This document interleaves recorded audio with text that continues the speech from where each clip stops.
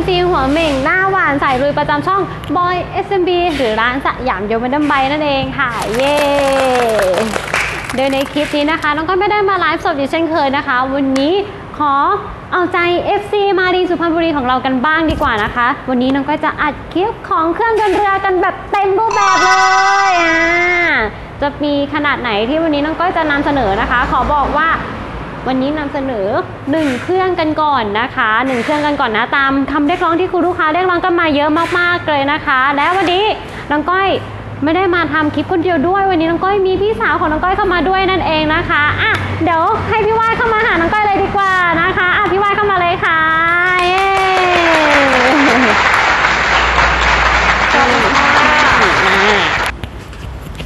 สวัสดีค่ะ ก็เดี๋ยววันนี้นะคะจะเห็นว่าด้านหลังของเรานะคะ ก็จะมีเครื่องยนต์เรือทั้งหมด 4 ตัวด้วยกันนะคะ ก็จะเห็นได้ว่าตัวนี้นะคะจะเป็นตัวเครื่อง 30 แรงนะคะ เป็นเครื่อง 4 จังหวะนะคะ DF 30 AL ค่ะ ซึ่งเป็นตัวหางยาวนั่นเองนะคะ แล้วก็น้องเล็กของเรานะคะ 2.5 แรง เป็นรุ่น DF 2.5 AS ค่ะ ซึ่งตัวนี้ก็คือเป็นน้องเล็กที่แบบว่าขายดีมากนะคะนะคะ แล้วก็มาที่ตัวรุ่นของ 9.9 แรงค่ะ 9.9 แรงตัวนี้นะคะ เป็นรุ่นของ DF เหมือนกัน DF 99 AL หางยาวนะคะอ่าแล้วก็มาที่ตัวนี้นะคะ เป็นเครื่องของ 15 แรงนะคะ ซึ่งตัวนี้เป็น 2 จังหวะนะคะ จะไม่เหมือนกับ 3 รุ่นด้านหน้านะคะ ที่เป็น4จังหวะวันนี้นะคะ เราจะมาดูรายละเอียดกันกับเครื่องของตัวไบเลน DF 2.5 S ค่ะอ่าเดี๋ยวเราจะขยับกันมาดูเลยนะคะ นี่เลยค่ะ เครื่อง DF 2.5 S นะคะของเรานะคะ เป็นหางสั้นนะคะ หางสั้นก็จะมีความยาวประมาณ 17 นิ้วนะคะ เหมาะสำหรับท้ายเรือ 15 นิ้วนั่นเองค่ะ เดี๋ยวเราจะมาเข้ามาดูเครื่องยนต์เรือกันใกล้ๆเลยนะคะ ว่าเครื่องยนต์ตัวนี้ประกอบด้วยอะไรบ้างนะคะ ต้องขอบอกก่อนนะคะว่าเครื่องยนต์เรือนี้มีน้ำหนักแค่ 13.5 กิโลกรัมนะคะ ซึ่งตรงนี้ถ้าเกิดเรามีการเติมน้ำมันเครื่องหรืออะไรเงี้ย เครื่องก็น่าจะไม่เกิน 15 กิโลกรัมนะคะ ซึ่งเบามาก ผู้หญิงแข็งแรงแข็งแรง ก็สามารถแบบว่าพกพาไปเที่ยวทะเลได้เลยค่ะ หรือว่าจะไปกาญจนบุรีไปตกปลาเราก็สามารถที่จะได้ของเครื่องยนต์เรือตัวนี้นะคะ จะเป็นการสตาร์ทมือนะคะ ด้วยการดึงคันชักที่ออกมานะคะ เครื่องก็จะติดง่าย ๆนะคะ หรือถ้าเกิดเครื่องเย็นอยู่ก็จะเหมือนมอเตอร์ไซค์เลยค่ะ จะมีตัวโชคนะคะ เดี๋ยวเข้ามาดูตัวโชคใกล้ๆเลยค่ะ นี่นะคะตัวโชคเราก็จะดึงขึ้นมานะคะ เมื่อเครื่องยนต์เรือเย็นนะคะ แต่ถ้าเกิดว่าเขาร้อนอยู่แล้วก็สตาร์ทได้ง่าย ๆ เลยค่ะ ตัวเครื่องตัวนี้นะคะ จะมีตัวถังน้ำมันเชื้อเพลิง ซึ่งจะเติมตรงนี้นะคะ เป็นแก๊สโซฮอล์91 นะคะ สามารถเติมได้อยู่ที่ 0.8 ลิตรนะคะ ซึ่งสามารถใช้ในการเดินทางเนี่ยประมาณ 45 นาทีเลยนะคะ ซึ่งถือได้ว่าเครื่องยนต์ซูซูกิเนี่ยเป็นเครื่องยนต์ที่แบบประหยัดน้ำมันเป็นอันดับหนึ่งนะคะ แล้วก็เป็นเครื่องยนต์4จังหวะด้วยนะคะ แล้วก็เดี๋ยวเราจะมาดูกันนะคะว่าตัวน้ำมันเครื่องเนี่ยเราจะเช็คได้ยังไงว่าเครื่องยนต์เลยตัวนี้มีน้ำมันเครื่อง ปริมาณเท่าไหร่อะไรอย่างนี้นะคะ ก็จะมีตาแมวตรงนี้เลยค่ะ เข้ามาดูกันเลยค่ะ เห็นไหมคะว่าสามารถเช็คได้ง่าย ๆ ว่าน้ำมันเครื่องเราตอนนี้อยู่ที่ระดับเท่าไหร่นะคะโอเค แล้วก็ที่ตัวของการเร่งคันเร่งนะคะบิดแรงเร็ว ก็ตามมือใจสั่งเลยค่ะ แต่ถ้าเกิดเราอยากให้แบบความเร็วคงที่นะคะ ก็สามารถล็อกตัวเครื่องความเร็วไว้ได้ด้วยตรงนี้นะคะ นี่เลยค่ะ ล็อกไว้นะคะ มันก็จะ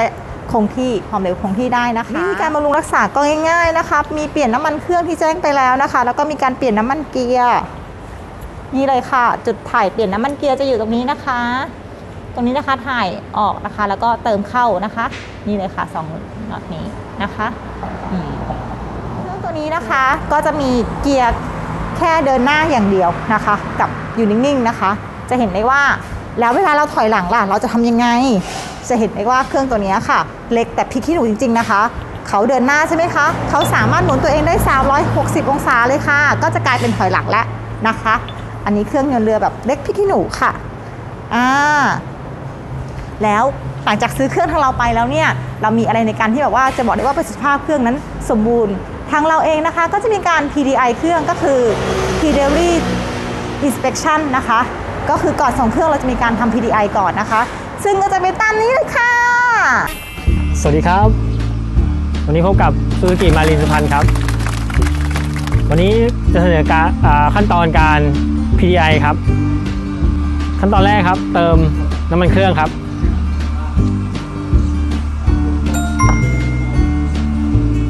ปริมาณที่เติม 0.7 นะครับ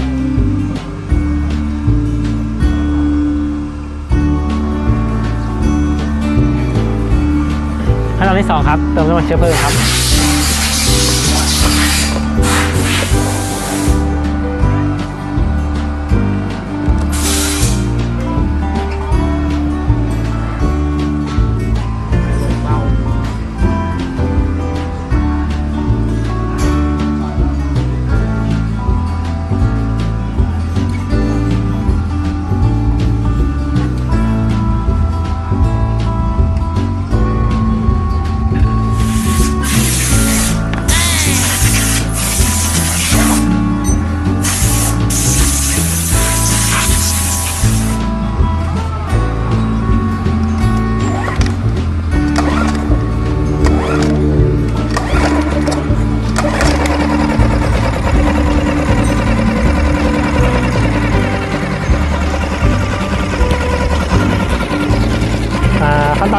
นะครับ ให้เช็คดูว่า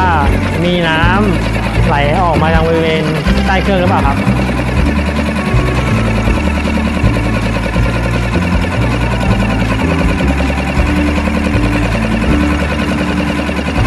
ระบบระบายความร้อนด้วยน้ำนะครับใบพัดน้ำข้างล่างจะดูดน้ำขึ้นไปบนห้องเครื่องแล้วก็ถ่ายออก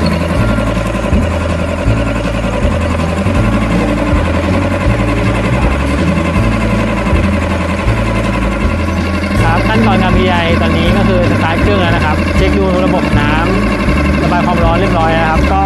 เป็นการสตาร์ทแล้วฟรีเครื่องทิ้งไว้ 15 นาทีครับ เพื่อเป็นการวอร์มเครื่องหรือ run-in นะครับครับก็เป็นขั้นตอนการวอร์มเครื่อง 15 นาทีเสร็จสิ้นเสร็จแล้วนะครับ ก็เป็นขั้นตอนต่อไปคือ การเข้าเกียร์เดินหน้านะครับ อีก 5 นาทีครับ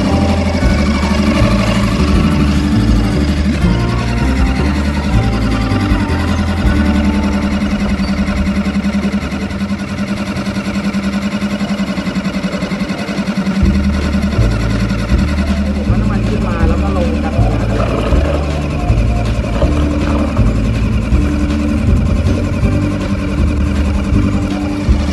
เมื่อครบ5นาทีแล้วครับ ก็เป็นการเสร็จขั้นตอนการ PDI ครับ ค่ะก็เมื่อสักครู่เนี่ยนะคะ พี่ว่าได้มีการแนะนำข้อมูลคร่าวๆนะคะ เกี่ยวกับเครื่องยนต์เรือ และพาไปดูการ PDI เครื่องยนต์เรือ DF 2.5S ของเราแล้วนะคะ เป็นที่เรียบร้อยแล้วนะคะ เมื่อเรา PDI เครื่องยนต์เรือเสร็จแล้วปุ๊บเราก็ส่งมอบให้กับคุณลูกค้าเลย บอกเลยว่า Happy Ending มากๆเลยค่ะ ค่ะอย่างนี้ยนะคะก็